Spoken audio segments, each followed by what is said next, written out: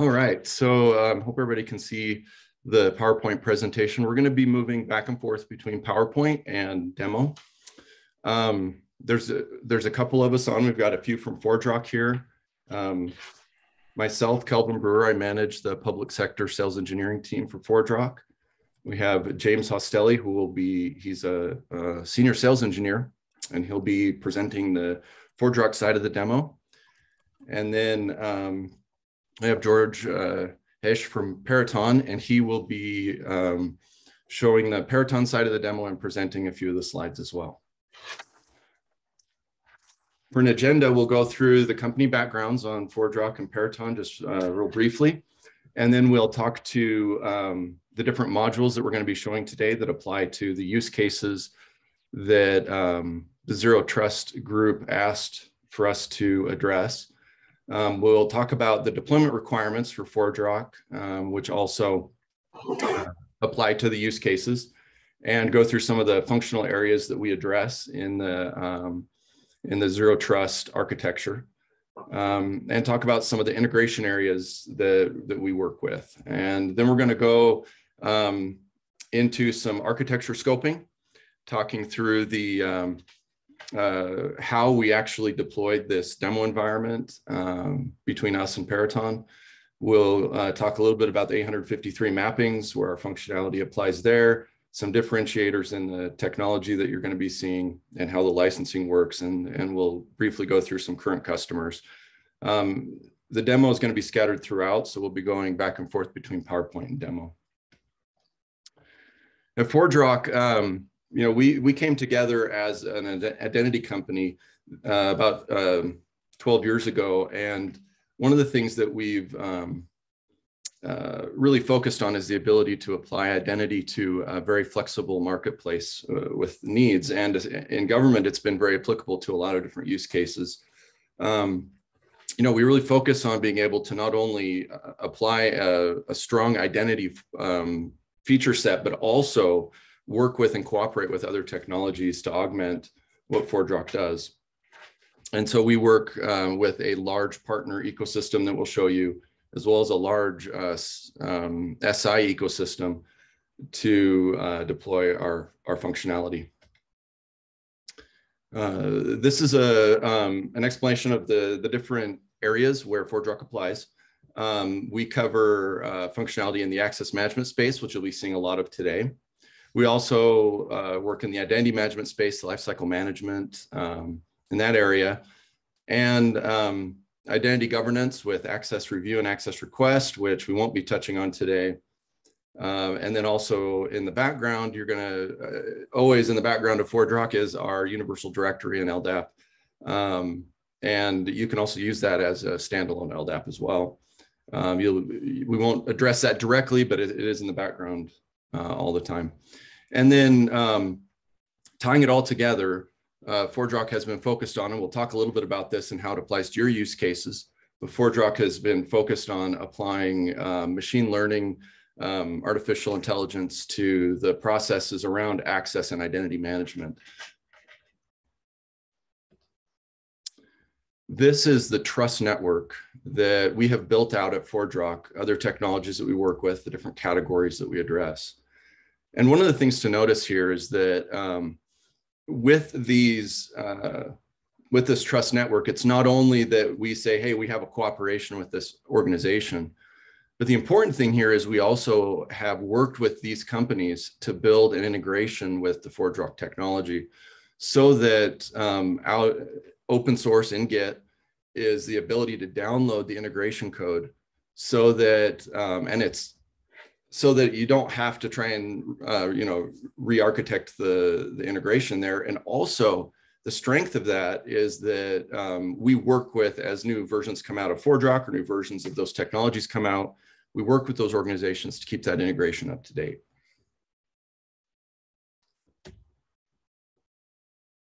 Now talking about the zero trust architecture one of the things to note here is that um, you know, some of these areas in the uh, in the different pillars, uh, we address these things as as a support part of ForgeRock. Like for example, the ability to produce logs out of ForgeRock.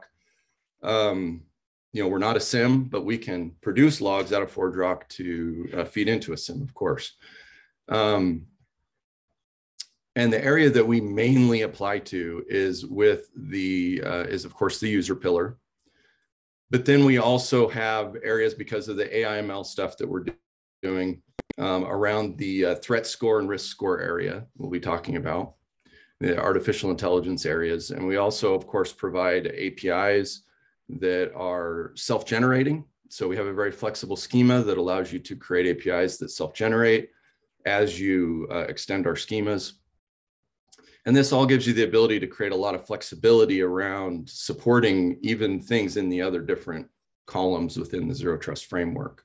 And you'll be able to see some of that in the demo that we showed today, as well as um, one of the things that's really important to address here is that, you know, the, as you, if you see things you're interested in, of course, reach out to us because we'd love to show you more. For the ForgeRock uh, demo that you're going to be seeing today, this is a, uh, a base diagram of how we deployed this. There's some things that I want to uh, really point out here. One is the, the core demo environment is deployed out on GCP. We have a lot of flexibility with our deployment model, and we'll talk more about that. But um, we deployed this in the ForgeRock Identity Cloud, which is our um, uh, SaaS solution. And we also have the ability to uh, deploy out to Google Cloud Platform or AWS or Azure as a, in a virtual private cloud. And that is um, how Peraton has deployed their ForgeRock instance in AWS GovCloud, um, where they have ForgeRock running, and they're working with a couple partner technologies with, a, with Acuant um, to show some of the functionality that they're going to show related to the ForgeRock uh, de deployments. And then we have the, the instances between Peraton and uh, the Drop demo instance federated, and we'll, we'll show you uh, some of the benefits of that and uh, some of the things that that provides for us. And I'll, I'll turn the time over to, to George now for uh, to talk a little bit more about Peraton.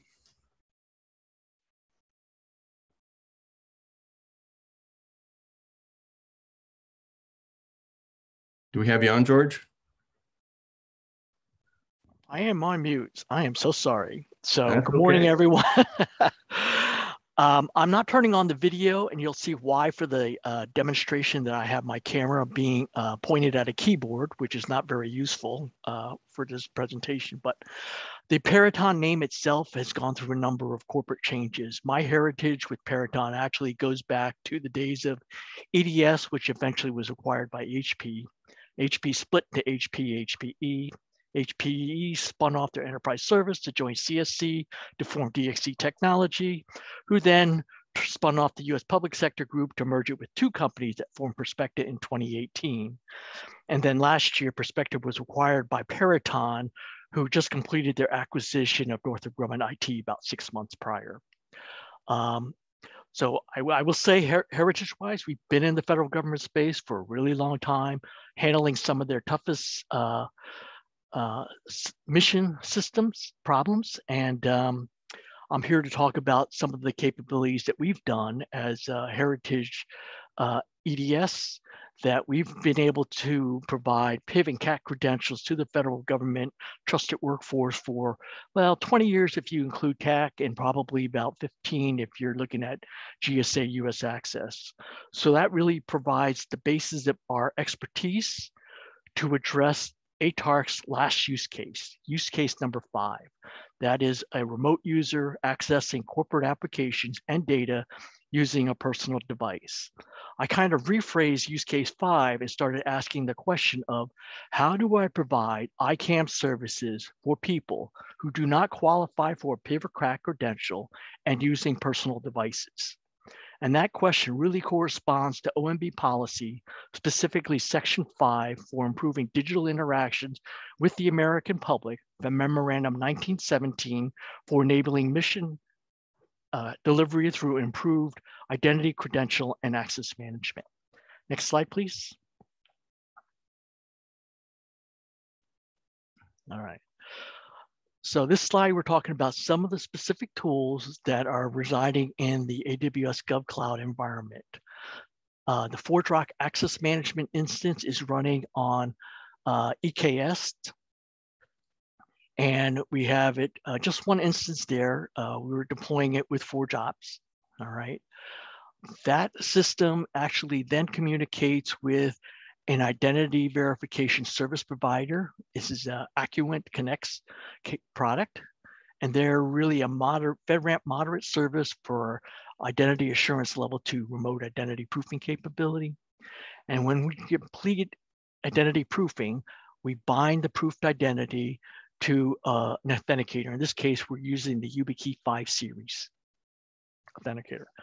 Next slide, please. Okay, the components are pretty much this. On the right-hand side is a description of our authentication tree developed by Peraton.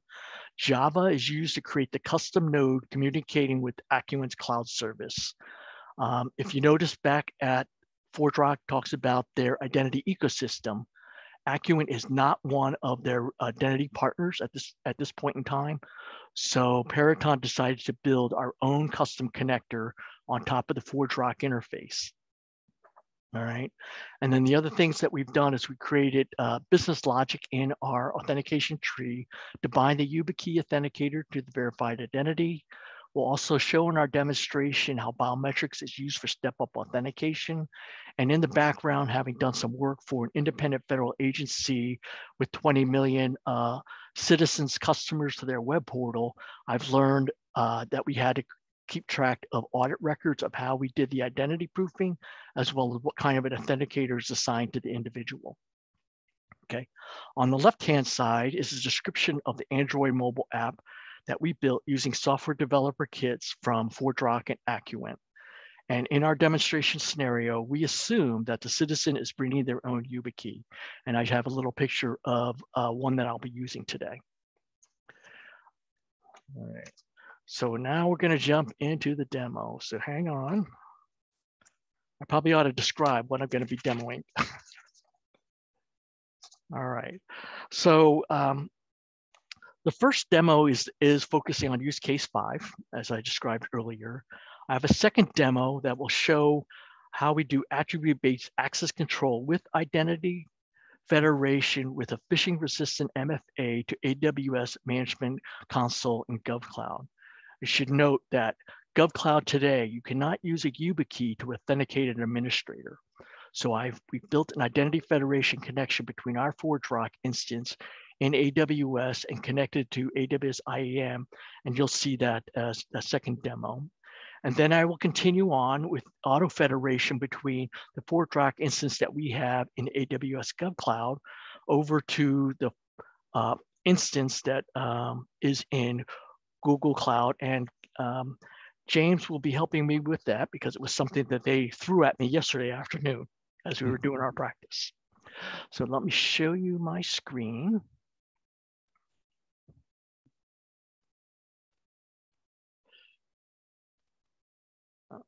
Okay, I assume everyone can see my screen.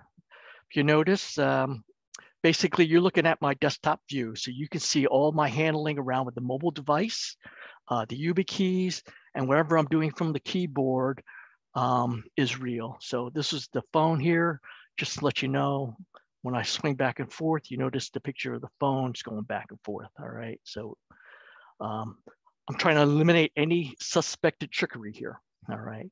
So we have a secure portal just for the demonstration purposes. So I am gonna create an account, all right? So part of creating the account, I'm just gonna say we're uh, today's theme, it's about zero trust. So let's go with zero. My last name is trust. I'm lazy. My uh, username is going to be ZT. And um, I'll show you an example here of, let's say, D3M0 capital A T A R C. And you could see uh, how it looks there. Then I'll confirm it on the bottom, D3M0 A T A R C. That looks like it matches. And really, for the most part, we only need the, this password in order to create the account because when I, once I bind it to the YubiKey, you won't be needing that uh, password anymore. All right. So this says that the account's been created. So now what I'm going to do is open up the Android app. All right, and it's about setting up the passwordless account at this point. Username ZT, D3M0, capital A, T A R C. All right, and then I should just log in. And it says my session is timed out. Well, that's not good.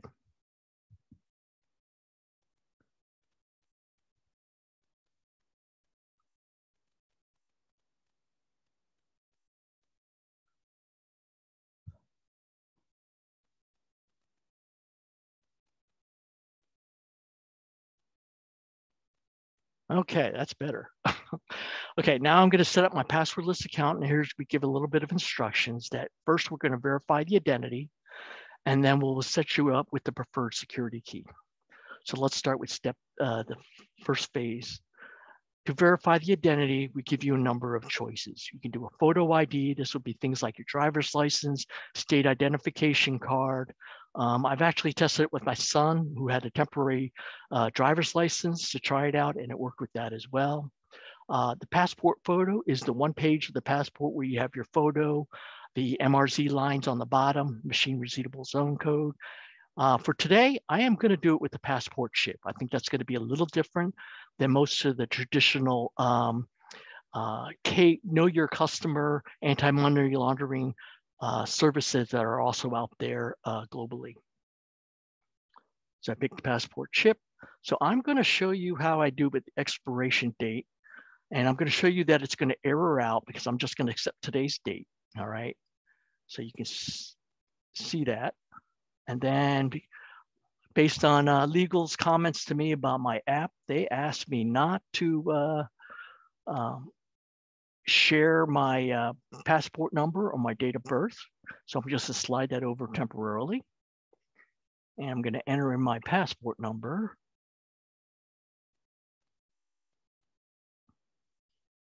And then I'm going to go to my date of birth. I got to scroll down to my year. Much older than I care to admit. Okay. Let's go over to the month and find the date. All right, so I have all the information there. Remember, I used today's date as the expiration date, which is completely wrong. So I have my passport over on this side.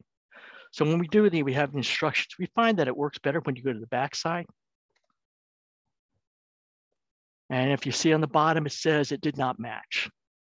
Let me put my passport down temporarily. Let's correct the date, uh, the expiration date is 27 November 15th. Okay, same thing at the back of the passport.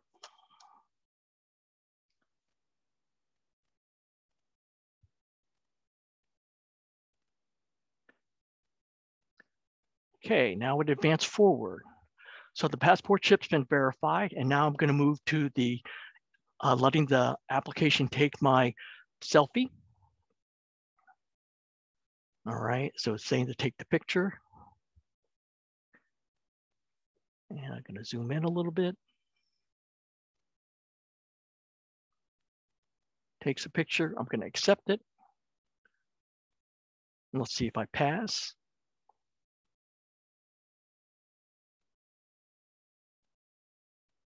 Okay, it says looks good. I finished the verification. Okay, now I'm on to step two, binding a YubiKey to my verified identity. So in this case, I am gonna use this key here. It's a hard security key.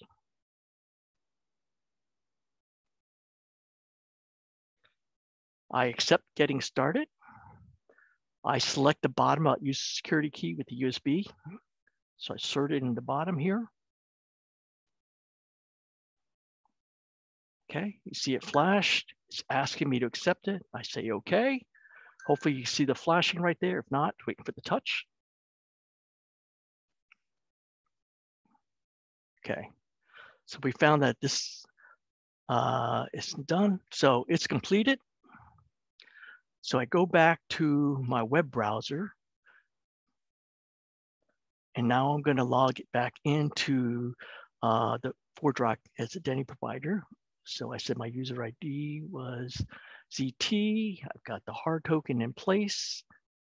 It says to get started. Now, what happens is, is the ForgeRock platform recognizes account. It's all set up. It does not register a device with my account as of yet. So this is the first time I'm using the mobile device. It's going to uh, scan for my photo as part of a step-up authentication process. There we go. So I say start camera, scroll up, take another selfie, submit the photo. Oh, it didn't like my photo.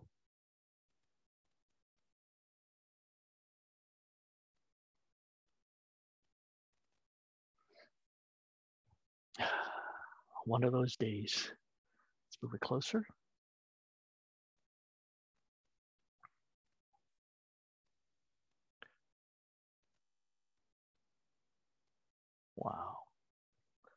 Let's do this.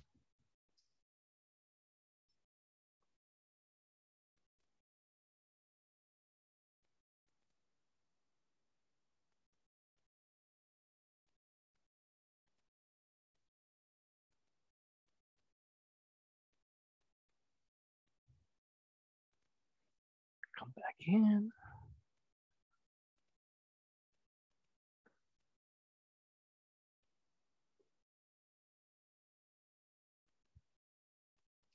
Security key. Search security key.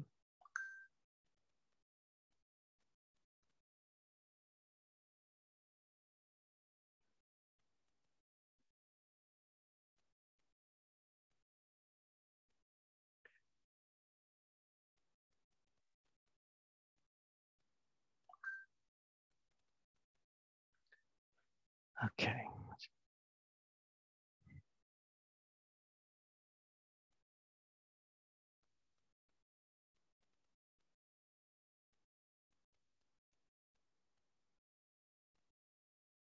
Oh, okay, I made it through.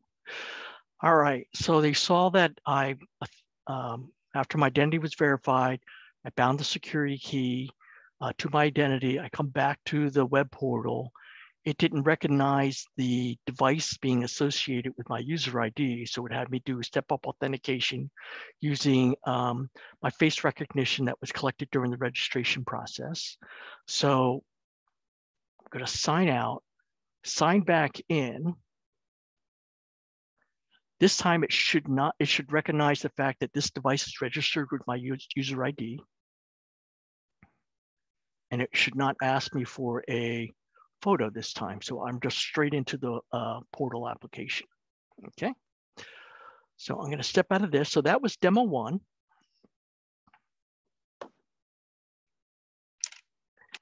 And I am going to turn off the webcasting for the phone. I don't need this anymore. And just focus on the second part of the demo is showing how we've integrated ForgeRock with um, AWS and GovCloud. All right, so I have two administrator keys with YubiKeys on them. One is green, one is blue.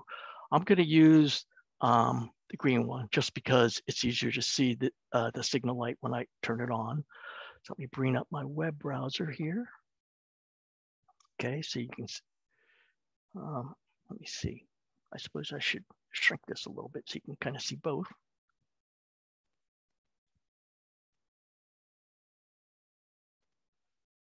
All right, so I'm gonna log in with a user. Uh, sorry, wrong user. Admin green. I've got a hard token. So I'm going to stick it in the port of this PC. So Selfie, you see it flashing. It's quite for me to touch it. All right. All right, so the connection to the AWS um, Management Console is this application. All right, so first things you should notice that this is AWS GovCloud. I'm in the GovCloud West region. This is some information about my identity. It says it's a federated login.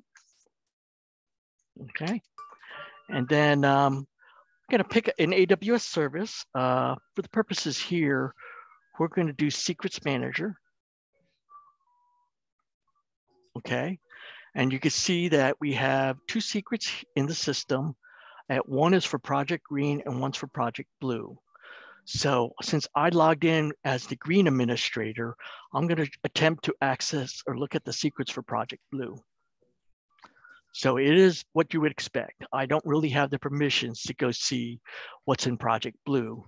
All right, you have the error message here and the secret detail is kind of empty. So now let's go back to the secrets and, and then we'll look at Project Green.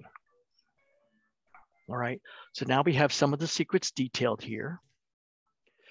Um, you can see that I can come down to secrets value. It's really plain text, nothing's cryptographically uh, complicated here. Um, but then I do want to point out that the tag field here is how we assign attributes to which administrators have privilege to certain kinds of things. In this case, um, I have the green value is the attribute that we're sharing between ForgeRock over to the AWS Management Console. Okay, so I'm pretty much done with that part of the demo.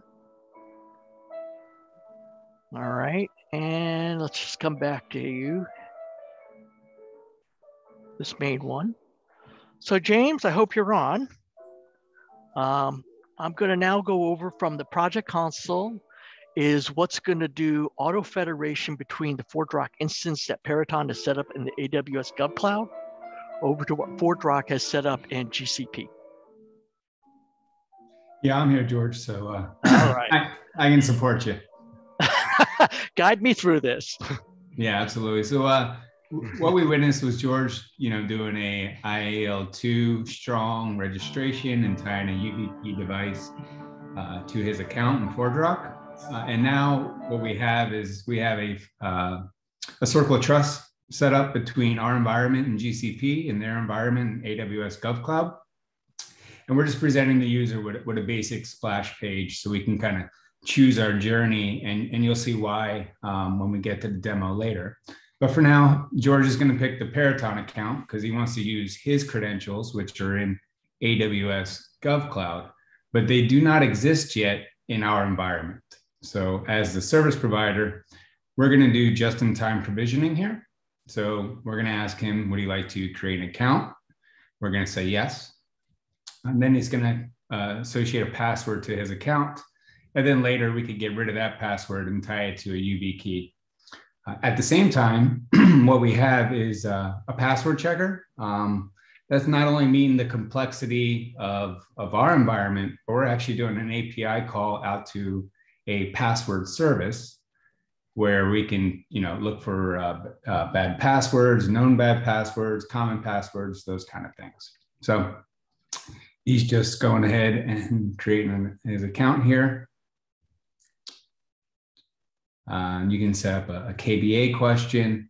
Uh, and then once his account is created, because we provision him on the service provider side, next time he, he'll be presented with a different journey, which I can show you later. Uh, and that will determine, you know, how he wants to authenticate, whether it's username and password, uh, multi-factor authentication, uh, maybe a one-time passcode to email. Um, you know, pick and choose your flavor. And so uh, Oh, and unless you want to, I only got one choice. All right. and share the knowledge. Yeah, that's all customizable. We just set it up so that uh, you would do, uh, you know, maybe one security question, and then All right. obviously terms and conditions. Oh, wow. You're not using the incognito window. In rehearsal, we used the incognito window, and it all worked. But if you want, you can you can switch it over back to Kelvin. We can explain this journey and we can walk through it a little bit more. Okay. All right. Kelvin, I'm going to stop sharing, let you come back presenting.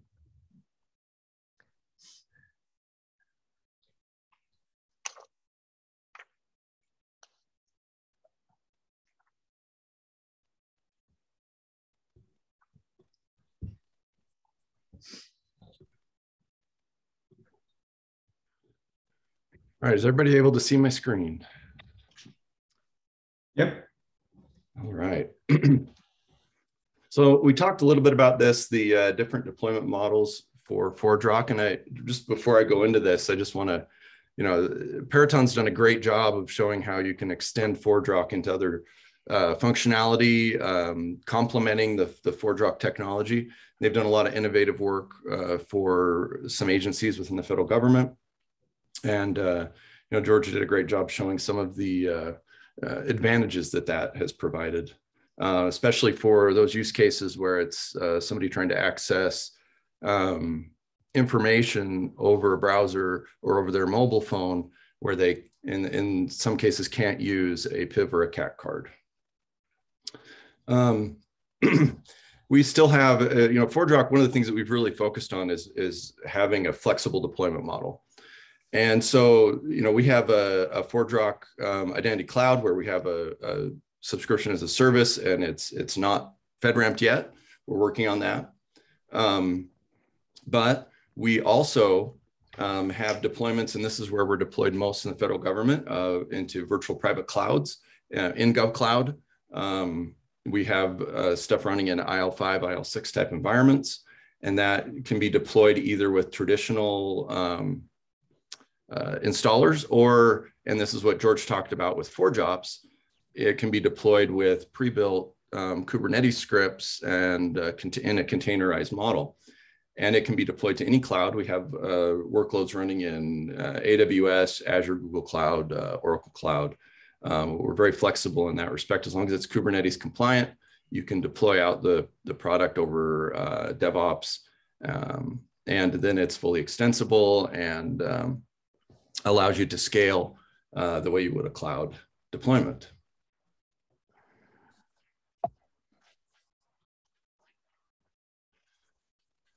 So talking about um, NIST 800-53 Rev 4, um, we've identified some of the categories where ForgeRock does meet the controls. Um, and, and one of the things that's you know important here is you know we, I didn't want to throw up a big spreadsheet showing how ForgeRock meets each control. But one of the things that's important here is that um, is that uh, an identity and access management solution does provide um, uh, a broad number of controls in, in the 853 model. And um, you know, we, if, if you're interested in looking into ForgeRock more, we can uh, share with you exact mappings. But you know, one of the things that's important there is that this is an essential piece of, of meeting the um, risk management frameworks. Uh, and NIST 800-53 is having a solid identity and access management solution. And it, you know, when you're speaking of zero trust, it specifically, um, it's uh, my one of the things that I always like to say is identity is the security perimeter, and that is you know that's the door of how people get in or how devices get in. And so that's what's really important about having a solid solution around identity and access management is that to truly build a, a, zero trust model with that trust but consistently verify, you need to have the ability to um, uh, have flexible um, user uh, authentication and authorization journeys. Uh, and, and not only applying to users, but also devices um, so that you can um, manage things in a way that is easy to uh, modify, easy to change, easy to um, adjust as different technologies come out, as different ways of doing things. You know, and, a, and a, prime example is what's happening in the world with um, with uh, the decentralized identity, where you know we in the federal government we've really embraced the federated user model, and that's probably not going away anytime soon but states are moving towards the decentralized identity model where you know supports some of what george was showing where you're using um, bring your own identity where it's maybe your driver's license or your passport or something like that with facial id and um, how do we interoperate with those and how do we adjust to being able to um, work with those? And that's where ForgeRock's ability to orchestrate journeys gives you that flexibility so that you can do things like um, uh, apply different models, different identity models, different authentication and authorization models to uh, to journeys. And James is really going to show how you can say, well, we're going to federate, but we're also going to require other authentication, step up authentication at different places. And it may be, you know, it may be AL2, it may be AL3, you know, you just, you can decide how you want to, um, in the 863 model, you can decide how you want to uh, what you want to enforce based on what the user is trying to do, uh, matching that zero trust concept. And so ForgeRock's built out these orchestration journeys, and James is going to show you these. But the important thing is with these journeys is the flexibility of being able to adapt to what needs to be happening for that specific circumstance in, in authentication. And this is a, a short video showing um, the ability to change an authentication journey uh, easily to adapt to new requirements. And you know, one of the things that you can see here is it's a drag and drop model.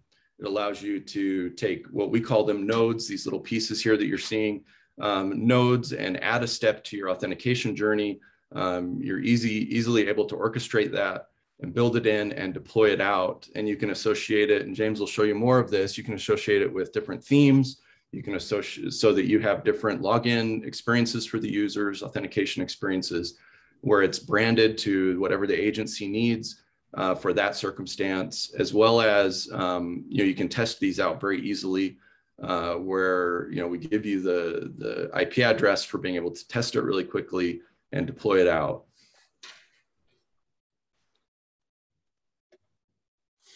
And the important thing here is, of course, is the ability to fine tune so that you have um, the multidimensional runtime decisioning. And just, you know, we're, we're talking about the different AL3 levels uh, where you're adding in the ability to be contextual and adaptive. And, and so, you know, you do that initial authentication, but that doesn't mean the user's trusted for whatever they're trying to get to. It means that they've shown that they have the credentials, whether that's a YubiKey, whether that's, uh, um, you know, using some other passwordless method, uh, or it's maybe a username and password, or it's a CAC card or PIV card whatever it was that they used to authenticate in with you know their PIN number, whatever. Um, then as they go and try and get into different applications, you have that transactional authorization. And that transactional authorization might be that you know within that transactional authorization that they're um, that they are needing to do a step up, or maybe they need to do some identity proofing, whatever it may be. That transactional authorization to get to that app um, is you can put in there. And then of course, each time they try and change uh, activities, maybe you don't do anything because they've already assured at a high enough level, but maybe you do, maybe you require them to add in different types of, um, you know, different authentication steps uh, or step up author authorizations, um, depending on uh, what you're trying, what they're trying to get to. Maybe they're trying to get to something that's still an on-premise software suite or a mainframe. And so then it's going to go through a reverse proxy like ForgeRock's Identity Gateway. Um, and you're going to change it from, you know, uh, an OAuth token to uh, a header auth or forms auth type of a methodology. And those steps here are all represented to say, maybe we need to do something different to get to that specific application. And that means we need to do some different kind of authorizations. And so um, what we're giving you is this tree-based service flows, but it doesn't just apply to authentication and authorization. It also applies to user registration. It applies to password resets. It applies to um, you know forgotten usernames, progressive profiling, which is a really important theme, especially when you're talking about citizen-facing, where you're looking at um, needing to gather information from the citizens, not just about who they are, but also about what they need access to and why they need access and what their interests are. Um, so that you can present to them the kind of user experience that the um, that the average um, uh, citizen is expecting. And so that progressive profiling says, well, maybe on the first time they register, we're going to gather this set of data. But later, maybe on the third login, we'll ask them for a little more. And on the fifth login, maybe we'll ask them a couple more questions and just over time gather information from them. And so now I'm going to turn the time over to James. He's going to go through the um, ForgeRock side of the demo a little bit with Peraton, and then um, and then we'll come back to wrap it up and address any questions that anybody has.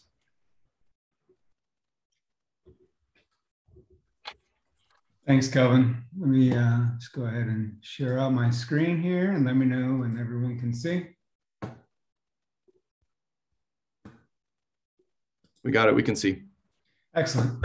so uh, what you're looking at now, we're going to kind of talk a little bit about the, the ForgeRock platform, the administrative side of things, how we can uh, provide that orchestration layer for different user journeys or authentication methods um, as well as maybe identity proofing or registration flows. So I'm just going to go ahead and log in here.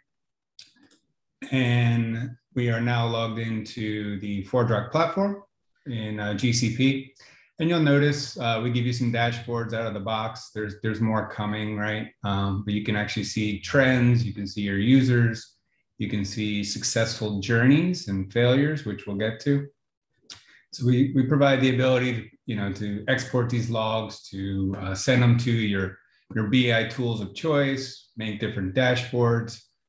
I do have a sample here for Splunk. So we actually created a Splunk dashboard where you can provide some, some additional information. So you could tie this to your identity cloud instance or your on-prem instance, and you can gather um, you know these type of logins or you know this the, the different metrics right that are uh, of concern and you can see here we actually kind of capture uh, activity logs from different locations i was kind of bouncing around on vpn to show you the difference and you can see your activity by country right so there's a nice dashboard that you know you can have tied with the identity cloud we have this feature here for applications. This is how you can easily set up different applications with uh, uh, OAuth or uh, OIDC. Um, you can see we got ServiceNow, or you can set up uh, an application to any little SaaS offering or anyone that supports uh, OIDC or SAML. And then we do this concept of hosted pages. And I just want to touch on this a little bit. This is a we give you the ability to do some branding out of the box. So, you know, when you see that single sign-on page and you want to present a theme to your users, you can create different themes. And then these themes can be tied to uh, different journeys. And they could also be decided dynamically based on the user's attribute or maybe uh, what organization they belong to. So you can have multiple themes that are tied to either organizations or even to journeys. Uh, and what's really nice is, you know, we kind of, we can provide a little background. We give you, you know, set up your signing card and you can change things. So this is the theme that I set up for, you know, today's demo. Uh, and then you also have a theme around the end user UI, right? So uh, me as a user, uh, this is the end user user user UI that we provide. But you can also customize this, uh, and we provide you, you know, the open source um, bits needed so you can have your own look and feel. But what's really nice is we give you the capability to uh, expose, you know, what your end user can see. So should he be allowed to see his uh, his um, two-step verification and what devices, right? What trusted devices are they allowed? Should he be allowed to remove those trusted devices? Uh, maybe we want to let him manage his security questions. And so I can easily put a checkbox here. And now these security questions would become available where I could reset them. Um, maybe I don't want him to allow to reset his password. Maybe he needs to go through the help desk or some, some other type of process, right? So you can easily provide these different preferences around consent, and even GDPR controls, right? So around your your data, what data does this uh, organization have of me? Would I like to remove my account? Uh, and even share that information, right? So we provide those capabilities out of the box for the end user pages, end user pages. And like I said, you can have multiple multiple themes. And you'll see here, we give you a starter theme, right? And then you can kind of go from there and customize as you will. Uh, and so what you're looking at, this is the platform UI, right? And so what we did is we took a mix between our access management and identity management, and we blended it into a single, single U, UI interface. Uh, we build the APIs first, and then we build the UI on top, which allows you the capability to build your own UIs around the administrative as well as the end user. And if you look at my identities here, you can see I can easily go ahead and manage different users.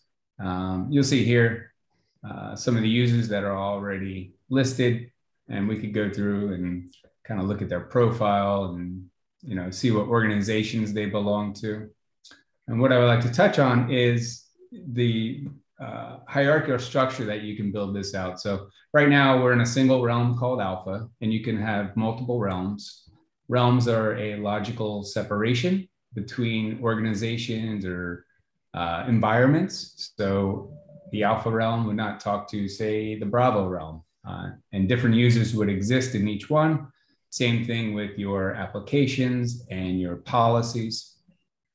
Uh, and we want to manage you can see here, I have different assignments. I could have different roles, but we have organizations. And you'll see here, I created an org called org model one. And if I was to click on it, then I can actually see who the administrator is. And this is that concept of delegated administration.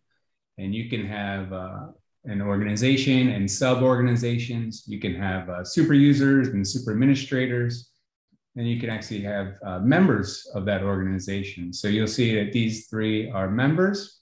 And if I was to log in as the administrator, I can actually manage those users. So I'll go through a journey, log in, and you'll be able to see that.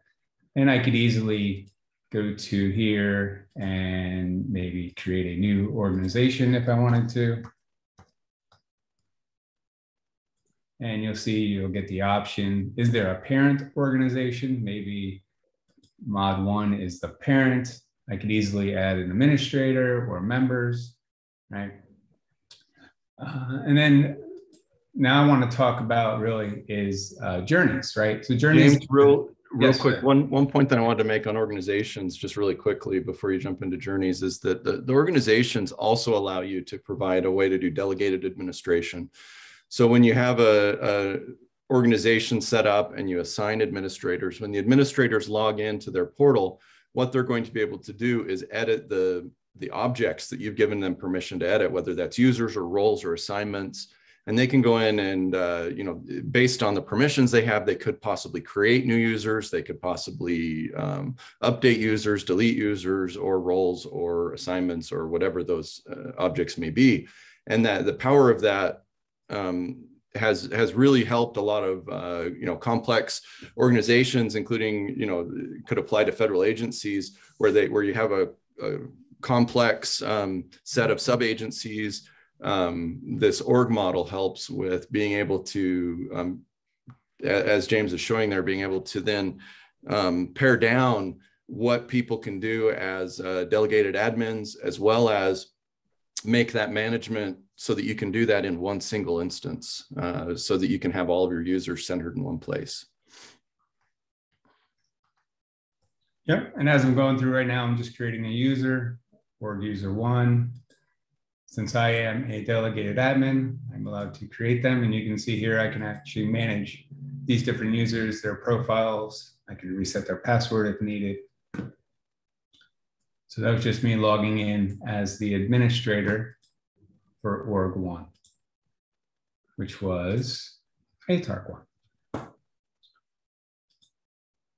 And so now I'm going to jump over to journeys, right? So we talked about, uh, you saw George, he had a really nice journey set up around um, identity proofing and, and registration. And I'm just going to show you how easy it is to orchestrate those journeys um, that even provide those complex uh, interactions between a user or adding multi-factor authentication.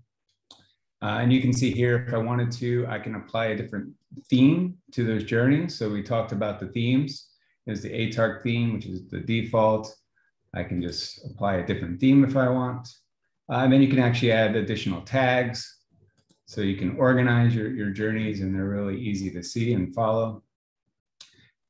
And so I'm just going to create one here called test 12 and we'll just start out with uh, a username and a password. Um, and uh, we also gave you the capability. So Kelvin touched on the data store. We have our data store underneath the covers, right? Which is where the user needs to exist. So that would be our data store decision. But what if you wanted to leverage multiple data stores? We give you the capability to maybe leverage LDAP, right? So it, maybe the user doesn't exist in our data store. We could go look in LDAP, make a decision, and then authenticate them and pass them through. But for this we instance, also, we also support pass-through authentication in that same way as well. yes, we do.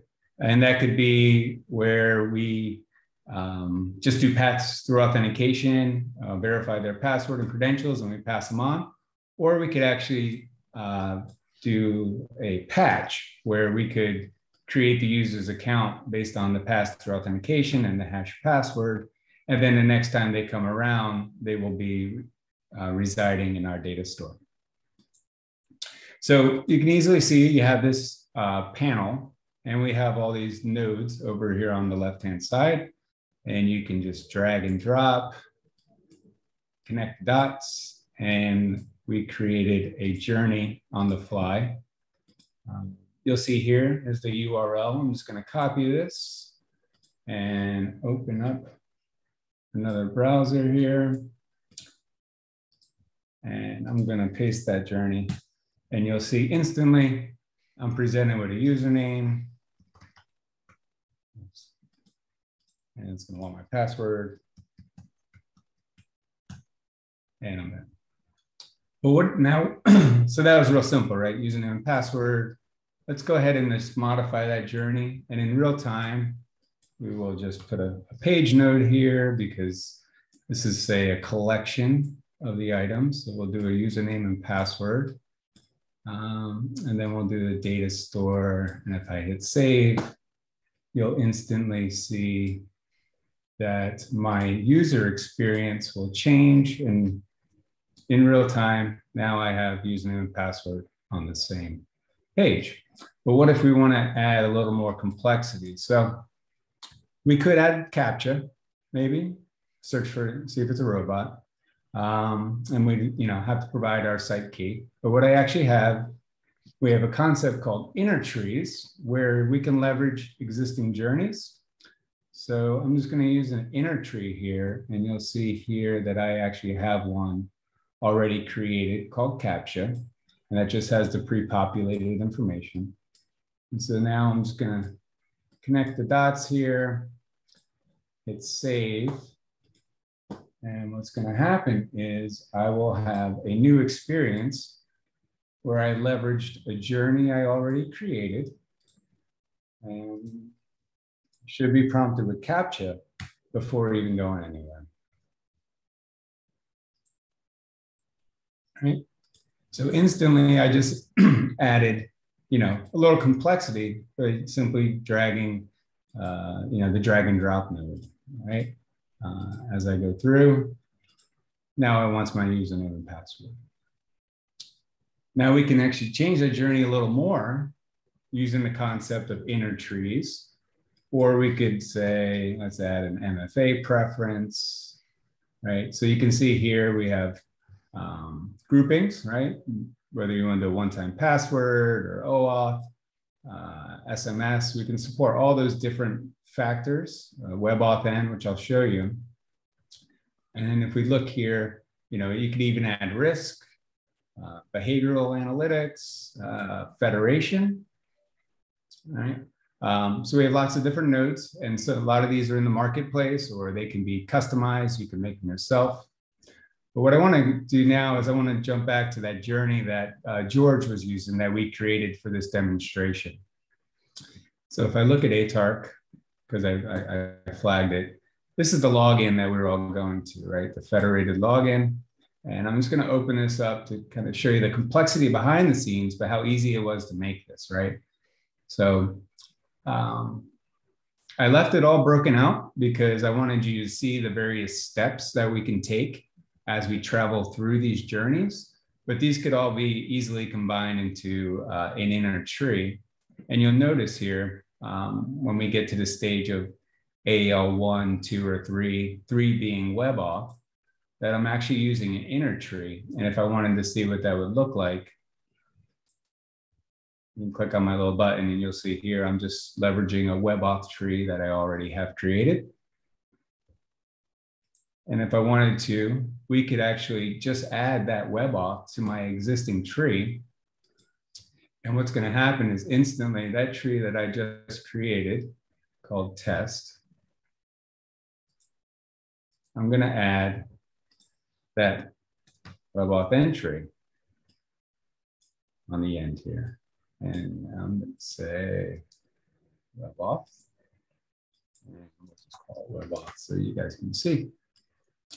And what's going to happen is now I'm going to be uh, prompted for WebAuthn. And I hit save. And I'll come back, bring up my, my new window over here.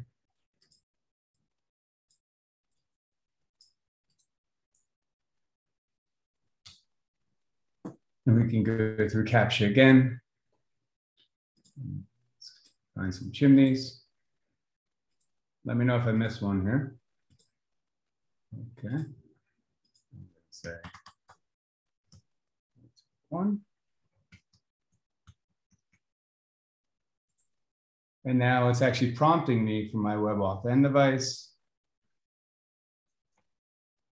And now I just authenticated. So instantly I went from username and password to bot detection on the front end and a second factor authentication using WebAuth by just dragging and dropping these different nodes into the journey. So now I'm going to take you through that federated login where we are doing uh, just-in-time provisioning, and this is what George wanted to show. So uh, you can see here, we're going to present presented with a choice. We can come through, and if the account doesn't exist, uh, we can go ahead and we will actually create it. We will provision it, create the object. And you'll notice here, as you traverse the journey, I have risk involved, right? So uh, depending on how a user is authenticated, depending on his attributes, his membership, you can add different authentication levels. And those authentication levels can be tied to policies that are protecting your applications. Um, and you can, you know, invoke things around uh, device risk or uh, maybe geolocation, right? Maybe you, um, uh, you know, want to set up geofencing around maybe just the, the US perimeter or something, right?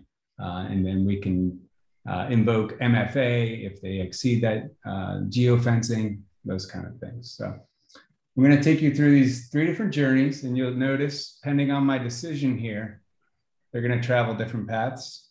Uh, one of them, you'll just get authenticated, uh, but you won't get any authentication level. So you're not going to end up at the, the end user UI.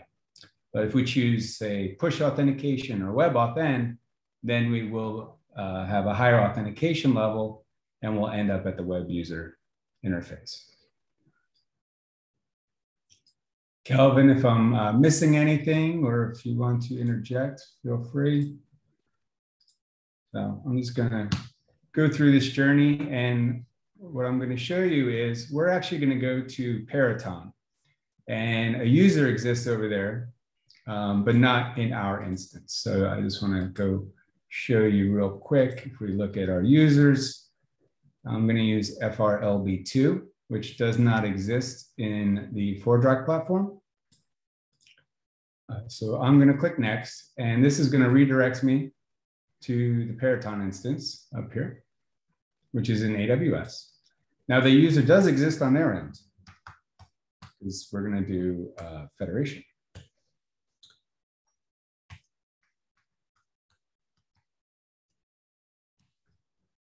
what's going to happen is now you're seeing the same uh, similar example that you saw before. So the account does not exist on our end. Would you like to create it? So I will say yes password. And now my account is created. But you'll see here, I just got redirected and I ended up at the ATARC website because that's how I set up this journey, right?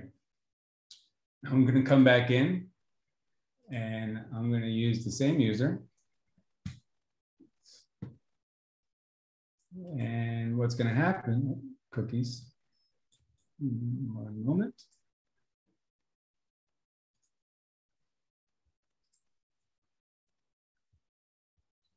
So I'm going to say Peraton. Clear my cache. Nope, it actually worked. So I got redirected. And I will be, and use the right password here. And what should happen now that that account is created and it exists, we are actually going to take a different path. So just to show you what path we're about to take. So no account existed. We went this route. Now the account exists. We're actually going to get prompted with this AAL choice where I can uh, make different changes, right? And we're just showing you the AL one, two, three choice based on uh, uh, for simplicity. Uh, I need to clear my cache, so sorry. Yeah. Cookies are very sticky and uh, there's no sign out options.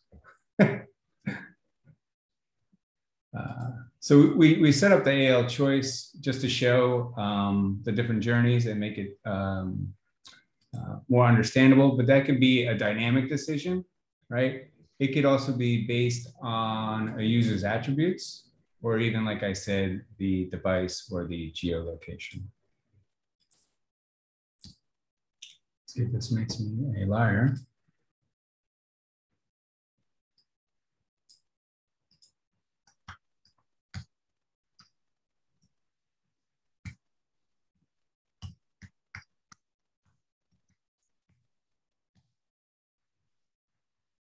There we go. All about cookies. So you can see here, now I am presented with uh, three different choices. Uh, the first one would just be a username and password, uh, and it's gonna do some uh, device profiling. And then it will actually take me to the ATARC website again, because you can see here, it queried my device, it knows my location, and that's just uh, API logic and behind the background. So we have this concept of scripted nodes where if you can write something in JavaScript or Groovy, you can do all kinds of dynamic and fun things. So here we are. Now I'm going to actually come through and I'm going to be presented with a different option, right? We're going to do the uh, AL2.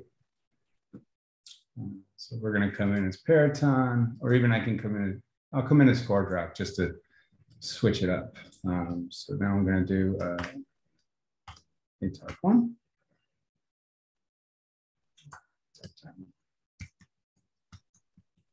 Now I'm just going to use a different user. That account's going to exist. Uh, maybe I want to use, and now we'll do AL2, which in this case is going to be a push notification or possibly an email for this instance, I'll just do a push. And you get presented with a barcode here because I've never used this account before. So I'm going to use my phone and I'm going to pull up the ForgeRock Authenticator app. And you'll see here, it wants account successfully registered. And we actually set up this journey so you can have some recovery codes, right? So if you lose your device and you need to get back in, you can have recovery codes all optional. And I hit done, and now I have authenticated as a user. And if I look at my profile, you can see here, there's my username, there's my two-step verification, and you can see here, I actually have my push device registered. And the third one I want to show you is going to be around uh, WebAuthn, we kind of went through that already, but um, I can show you that. Peraton.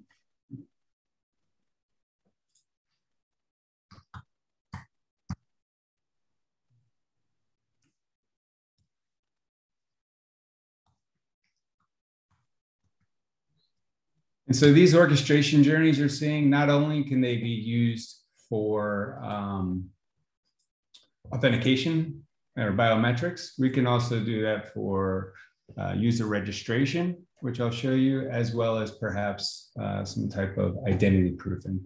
So you can see here, I now have two devices registered under my user.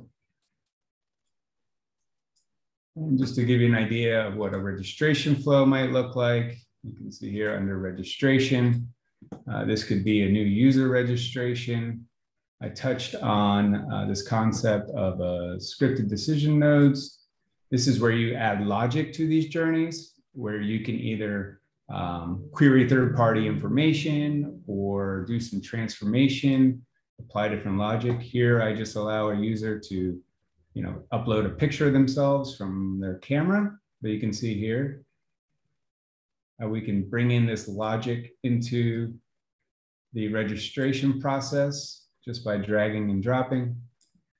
Uh, I can also do things around maybe identity proofing. So if I wanted to um, bring in my inner tree, which has uh, identity proofing with Onfido, I can simply connect this and leverage this inner tree which has, you know, uh, submit an application with my driver's license. Uh, let's check that information, and then we create the account based on the attributes that we're pulling. And then those attributes can easily be added, such as uh, telephone, right? And then now that becomes an option when the user is going to register.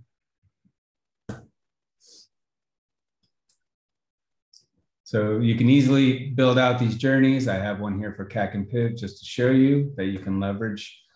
Um, you know, if you want to collect a certificate, validate, check against OCSP, uh, check the CRL. All you do is fill in these different parameters, and then you could enable CAC and PIV as an authentication journey.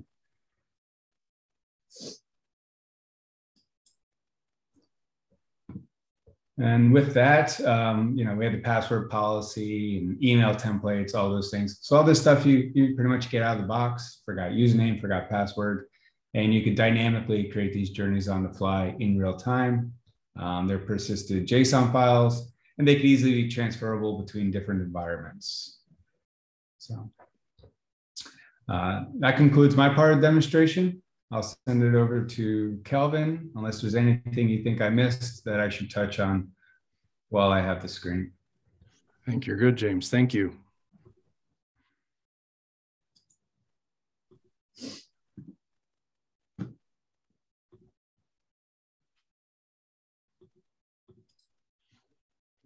We wanted to touch on just uh, a feature that we have coming out in the next couple months. Um, this is a, a, product that we're calling Autonomous Access. It is an AIML-based uh, risk engine that can um, integrate with a number of different signals to do things like boost fraud prevention, uh, improve customer engagement, um, you know, and then just improve the intelligence of the user journeys. And some of the things that we're focused on with this um, is threat prevention, of course, uh, preventing bots, preventing brute force attacks, um, credential stuffing, things like that. Uh, anomaly detection, looking at um, things like the, user's location, their normal behavior. And, and, you know, one of the things that um, has around the fraud area um, or around uh, the risk of, uh, of government employees, um, you know, becoming uh, uh, antagonistic towards the towards the um, agency. You know, it's a, you look at that behavior and you see that okay, this group or this user is logging in at a time they usually don't. They're going to high risk applications, and so what do we need to do to um, either add additional step up authentication for them, um, authorize, limit what screens they can see through authorization policy, all done with ForgeRock um, you know, those those steps are getting to be more and more important for us to increase security. And having an AIML engine that learns in the background to be able to capture those things quickly in real time and send alerts and provide um, immediate security controls on what the user's doing is, is just vital to being able to um, uh, being able to secure our, our organizations. And you know, the other thing that's important there is is then providing data. James was showing some of the dashboards and things with the autonomous access. We're also going to be adding in a lot more dashboards and visibility into some of these risk fa factors so that you can see um, down to the user level or to the group level um, what is happening that is increasing risk uh, for your organization.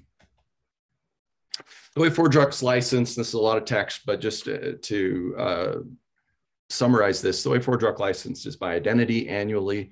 We don't have any surge pricing.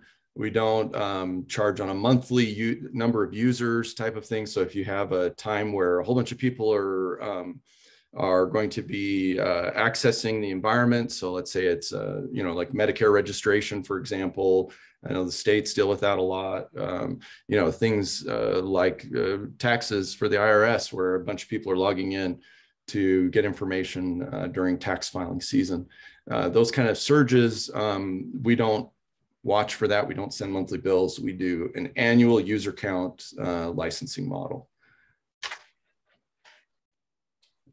And, um, and we also don't limit the number of instances that you can have either. So, uh, you know, if, if you're deploying out to virtual private clouds, out to GovCloud, um, we we provide you the the um, Kubernetes scripts if you want to do uh, the DevOps deployments or or the the bits to do a straight installment, and you can have as many instances of ForgeRock as you want, and there's no limitations on that. It's just we license on annual users. And we these are uh, just examples of some of the uh, different licensing packages that we have for the different functionality. Um, in our intelligent authentication, which is our base access management um, license, then you also get all the different, uh, the multi-factor type uh, types that we support and things like that. And then we also have these different authorization models and federation packages. Uh, we also have user managed access. And, and we covered uh, a number of these areas today, specifically intelligent access authorization and federation.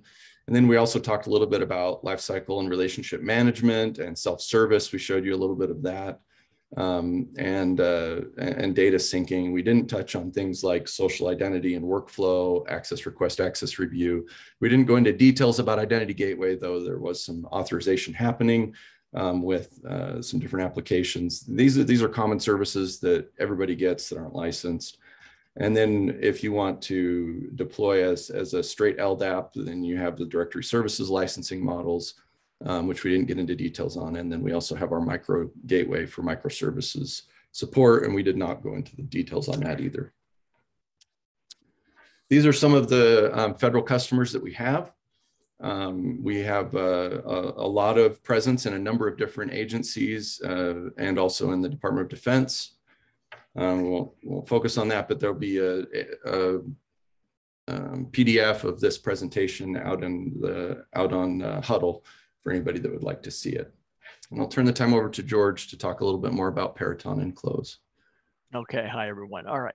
So what I did demonstrate was what we built using developer kits, both on the uh, using um, software developer kits uh, on the Android mobile platform, a little bit on the uh, HTML5 capabilities, and obviously we used uh, Java to do our coding for creating the custom nodes on to run on top of ForgeRock.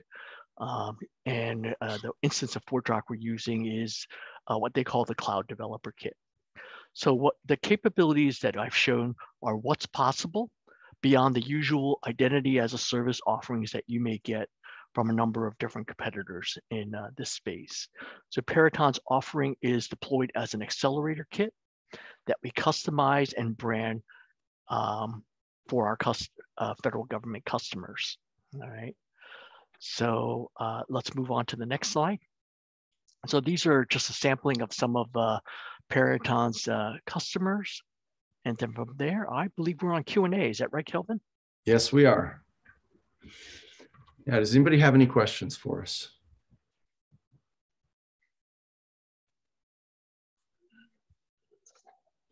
All right. Well, thank you everyone for the opportunity to um, walk through ForgeRock and the Peraton solutions. Appreciate your time today. Awesome. I'm going to stop recording.